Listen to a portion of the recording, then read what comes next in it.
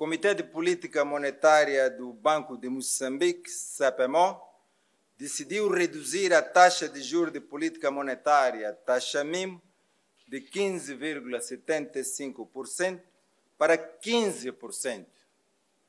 Esta decisão é sustentada pela contínua consolidação das perspectivas de inflação em um dígito no médio prazo, num contexto em que a avaliação dos riscos e incertezas associados às projeções mantém-se favorável. A presente sessão do CPMO foi precedida pela reunião do Comitê de Estabilidade e Inclusão Financeira do Banco de Moçambique, que fez uma avaliação da evolução do risco sistêmico e principais vulnerabilidades, igualmente refletidos neste comunicado, e concluiu que o sistema financeiro nacional continua estável e resiliente. As perspectivas de inflação mantêm-se em um dígito no médio prazo. Em abril de 2024, a inflação anual fixou-se em 3,3%, após 3% em março.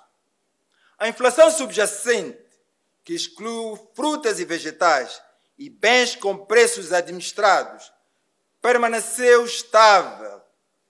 Para o médio prazo, mantém-se as perspectivas de uma inflação em um dígito, refletindo, sobretudo, a estabilidade do metical o impacto das medidas tomadas pelo CPMO.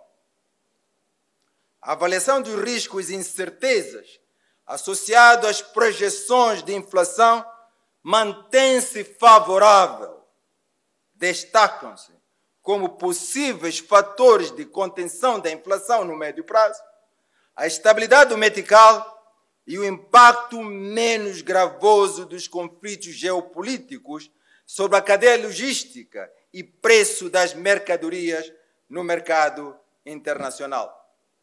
O setor bancário mantém-se sólido, capitalizado e resiliente. Em março de 2024, o rácio de solvabilidade fixou-se em 25,1%, acima do mínimo regulamentar de 12%. E o rácio de liquidez foi de 43,6%, igualmente acima do nível regulamentar de 25%. Querem dizer mais do dobro. O teste de esforço de solvência macroprudencial, que consiste na simulação de choques para avaliar a resiliência do setor bancário, mostrou que este setor tem reservas de capital suficientes para absorver potenciais perdas e manter-se sólido e capitalizado no médio prazo. O risco sistêmico, que avalia o potencial efeito de contágio decorrente de perturbações do sistema bancário, é moderado. Este comportamento reflete a recuperação global, gradual da atividade econômica, a estabilidade do metical e a recente evolução da inflação, não obstante o aumento da exposição do setor bancário ao endividamento público. Com efeito, a dívida pública interna, excluindo os contratos de mútuo e de locação, e as responsabilidades em mora situa-se em 361,8 mil milhões de meticais, o que representa um aumento de 49,5 mil milhões em relação a dezembro de 2023. O CPMO continuará com o processo de normalização da taxa mínima no, no médio prazo. No entanto, o ritmo e a magnitude continuarão a depender das perspectivas de inflação, bem como da avaliação dos riscos e incerteza subjacentes às projeções de médio prazo. A próxima reunião ordinária do CPMO está marcada para o dia 31 de julho de 2024. Muito obrigado.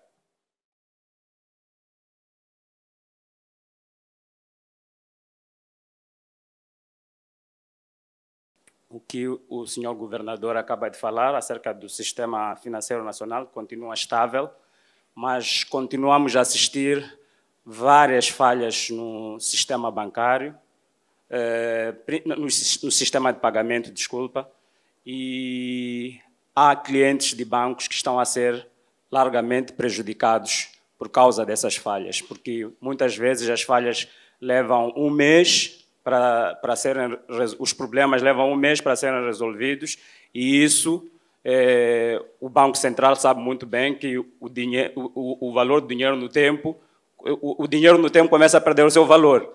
Então, eu gostava de saber do Banco de Moçambique quem é que se responsabiliza por estas falhas.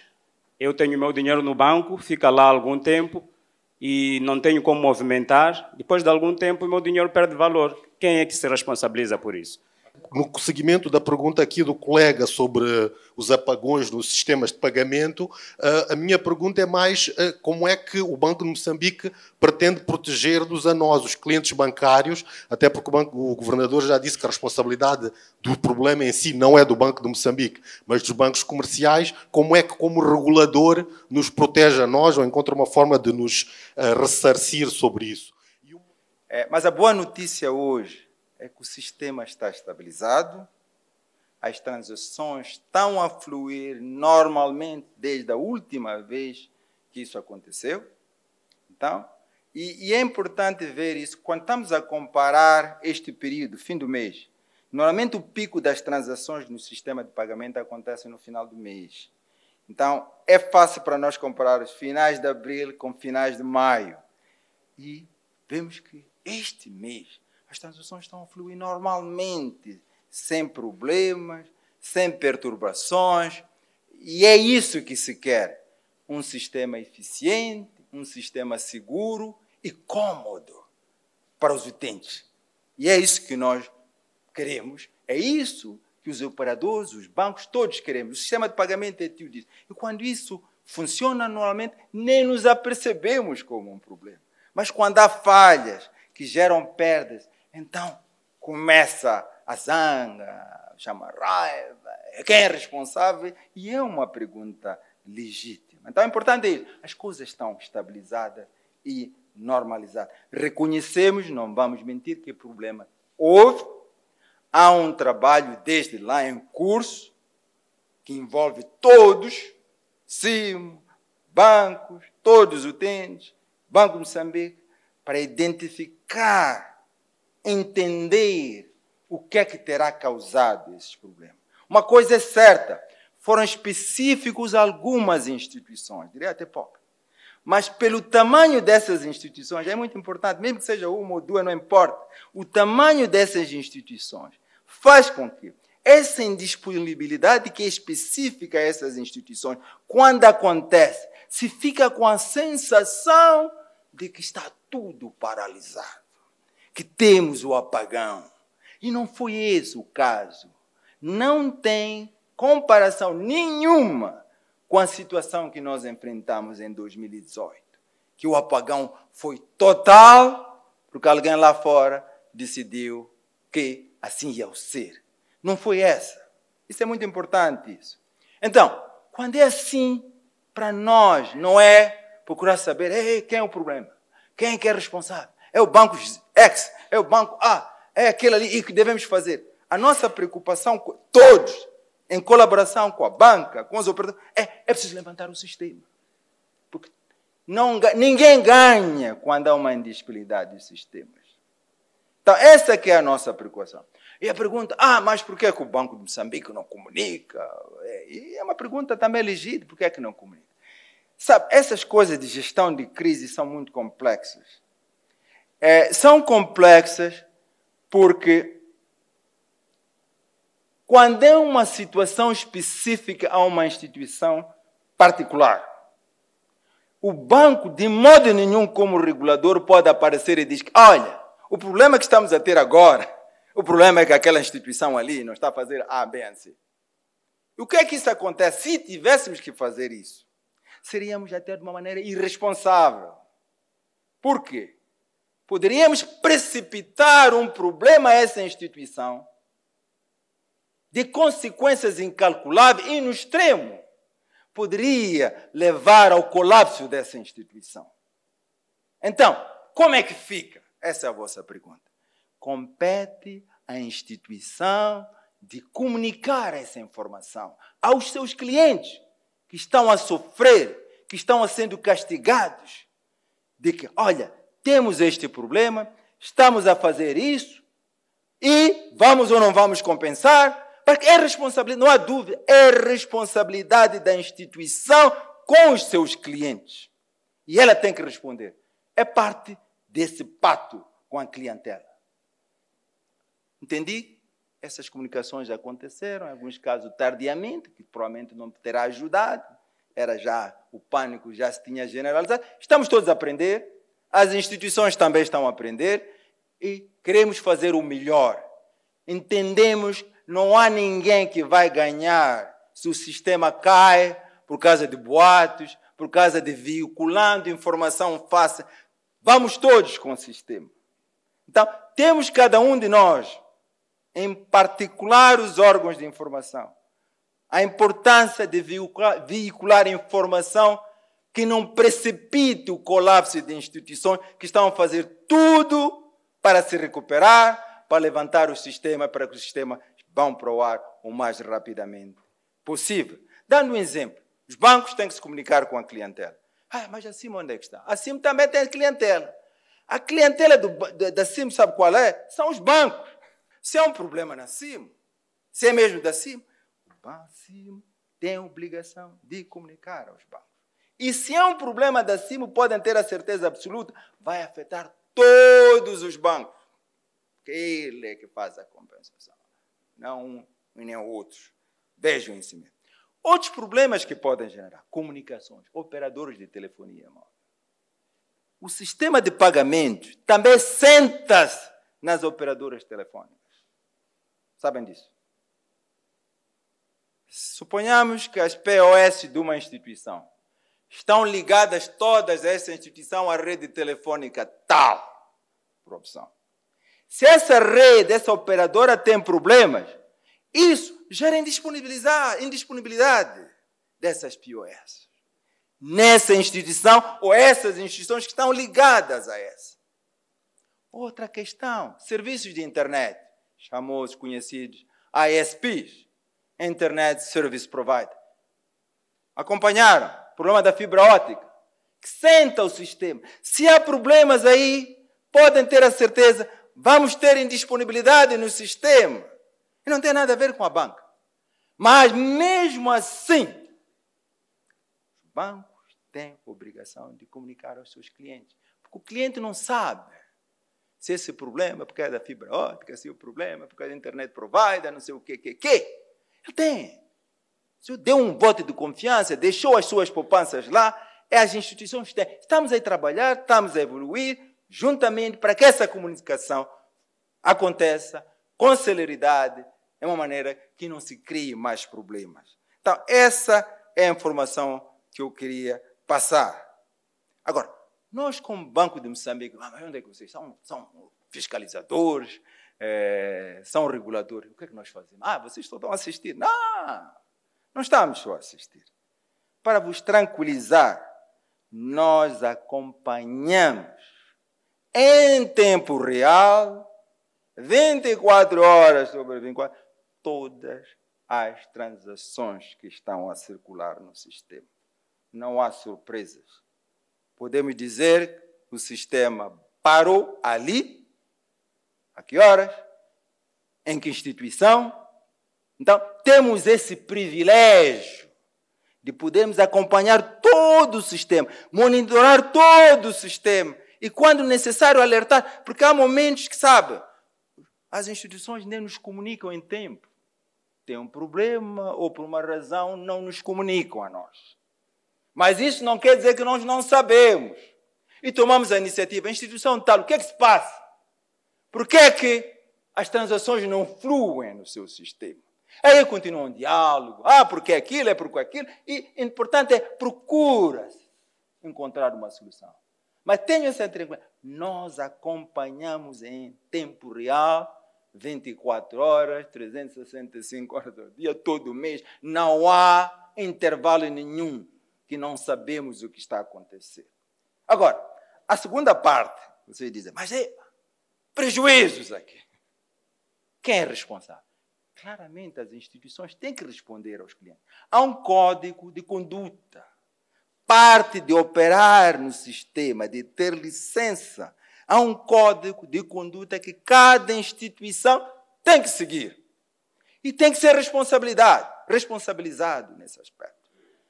Compete a nós, como regulador, como fiscalizador, quando as instituições não respeitam esse código de conduta, então temos que agir, sancionar, reprimar, dialogar. Então, é mais ou menos assim como funcionam as coisas. Não sei se ajudei a esclarecer.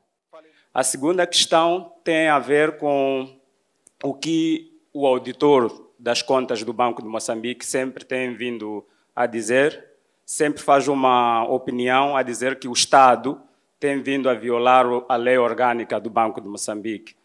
E já há mais de. desde 2005 que vemos situações dessa natureza. É, o auditor a alertar, mas a situação continua. Eu gostava de saber do Banco de Moçambique por que, que quando há essas variações cambiais positivas ou negativas, o Estado não canaliza os valores como está previsto na lei para as contas do Banco Central e por que, que o, o Banco Central também não exige este, estes valores ao, ao, ao, ao Estado moçambicano, ao governo? E uma última questão, que também tem a ver com esta questão do auditor, é porque é que o Banco de Moçambique não deixa ou não quer ser auditado pelo Tribunal Administrativo, como a semana passada uh, o Parlamento acabou por aprovar. Obrigado. Agora, as contas do banco são auditadas, é muito importante.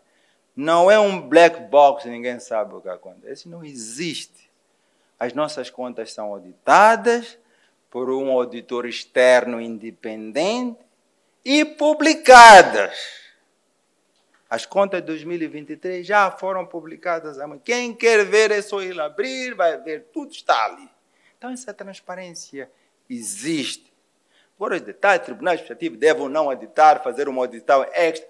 É, eu não compete a mim pronunciar a isso.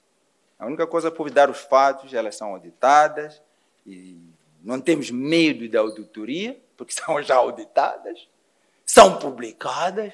Agora, se há outras instituições, isso já é, são outros que têm que se pronunciar, não compete. Nós trabalhamos com as leis, não determinamos as leis que governam o sistema financeiro. É o governo, é em parceria com a Assembleia, em particular a Assembleia. Nós somos sortudos, muito sortudos, porque temos uma Assembleia da República que foi visionária, no sentido que deu ao Banco de Moçambique os instrumentos para poder operar com rapidez, flexibilidade, autonomia e independência operacional necessária para que amanhã começamos a dizer: ah, não fizemos isso porque estávamos amarrados, tínhamos medo daquilo ali. Não temos esses problemas. Claro que as coisas que fazemos dão barulho, ruídos, mas temos instrumento. Eu não posso chegar aqui, desculpa, ah, eu não fiz porque estava amarrado. Estava amarrado o quê? Deram-te tudo. Ninguém me amarrou. Ninguém nos amarrou o Conselho de Administração. Tens instrumento e não age. Isso é graças ao nosso legislador, que foi visionário na época. E esta instituição funciona nesses termos, se não me engano, desde quando? Desde 92, não é isso? Desde 92 que funciona nesses termos. E tem servido bem o país. Ah, em relação à descida da taxa MIMO, um, no mês passado a inflação, entretanto, voltou a subir um bocadinho. Queria saber se esta normalização uh, poderá continuar, independentemente da inflação continuar a acelerar, como tem estado a acontecer. Que as decisões que tomamos em janeiro de iniciar esse ciclo de normalização da taxa MIMO para, no médio prazo, significando do 24 a 36 meses, chegar aproximadamente a uma taxa de um dígito. Continua.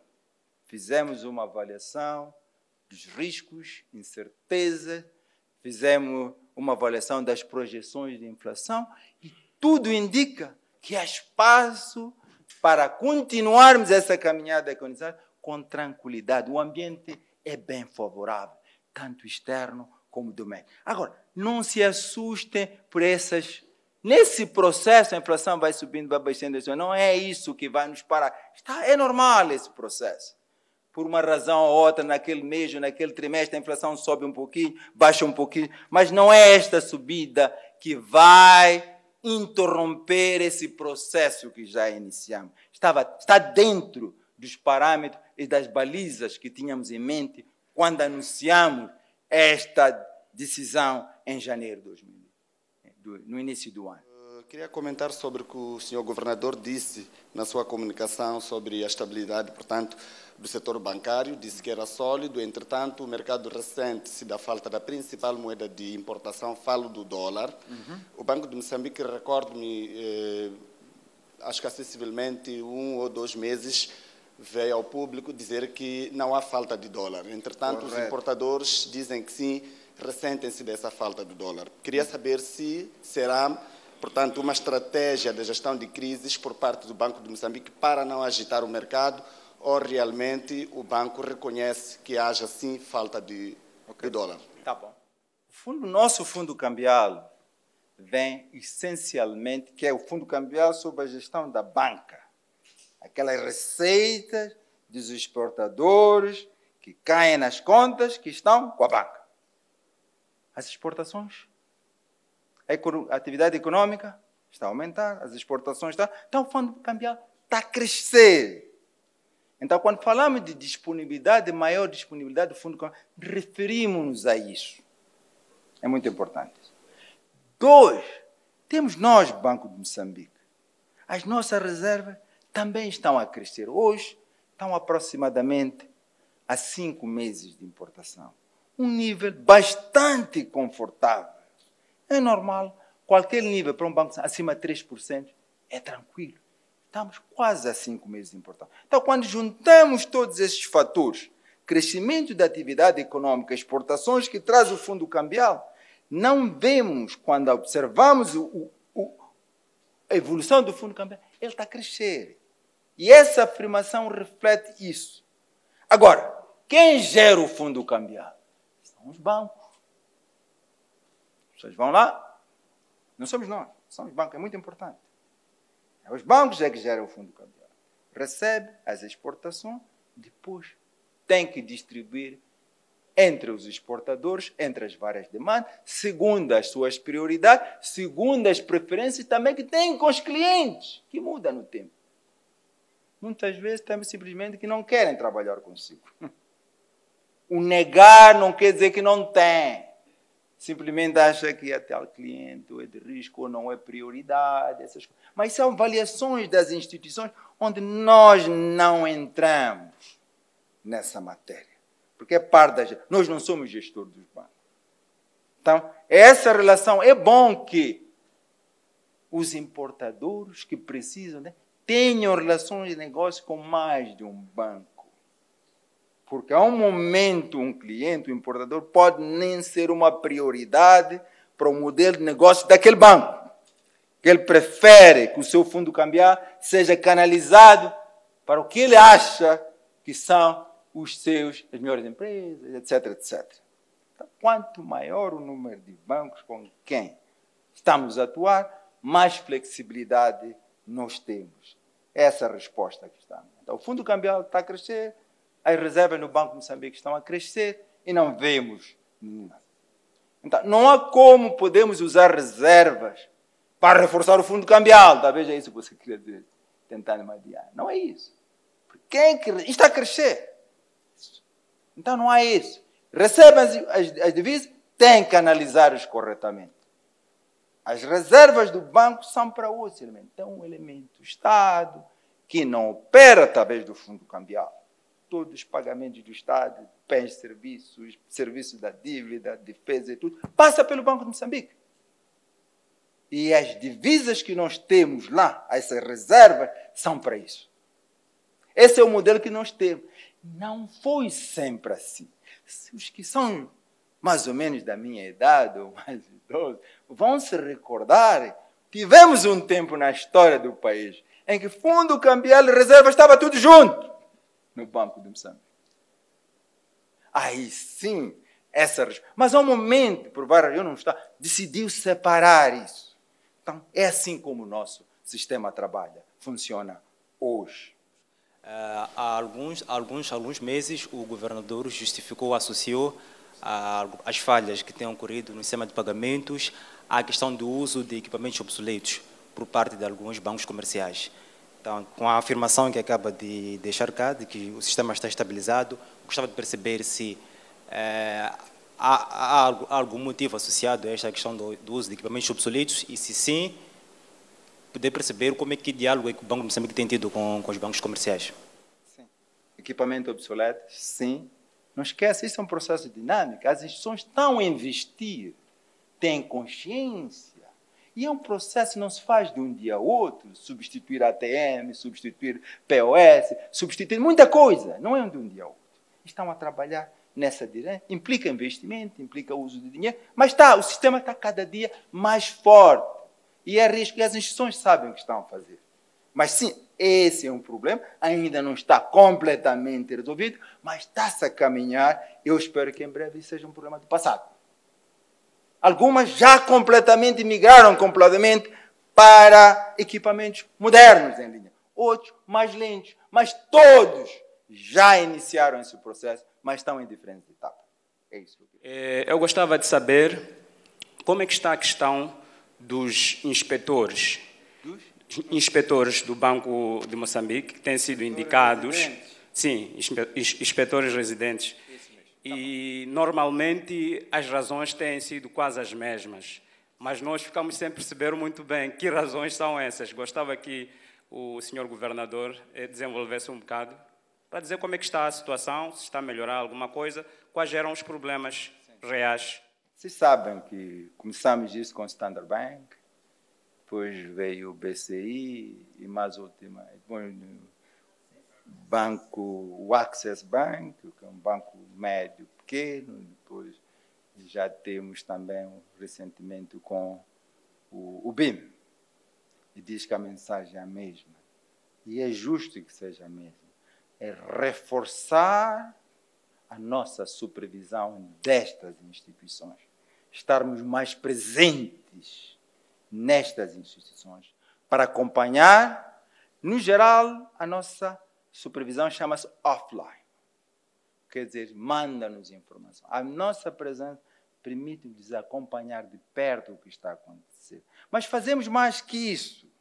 É bom perguntar. Não estamos lá só para acompanhar e monitorar damos assessoria à gestão dessas instituições, sobre aquilo que não sabem o que está acontecendo, algumas vezes dentro das próprias instituições, por razões que eu expliquei. Então, tem sido usado os inspetores residentes para reforçar até a gestão dessas instituições. É uma assessoria gratuita, que está lá, disponível para usar da melhor forma. Então, devem usar e todos estão a usá-la. É a primeira linha. Eles percebem que tem um regulador lá presente. Quando tem uma primeira preocupação que tem, sabe o que faz? Diariamente correm ao hospital residente. Epa, como é que é? Temos esse problema, como é que é? Como é que podemos dar? Então ajuda. E é bom, porque dá tranquilidade a nós e dá tranquilidade às próprias instituições. E é por isso que em todas elas que temos aí, estamos acompanhando, estamos ali. Então, essa é a ideia. Não há nada de misterioso. É isso mesmo. Em certos momentos achamos que é oportuno, conversamos, está lá. Há benefícios para ambas as partes.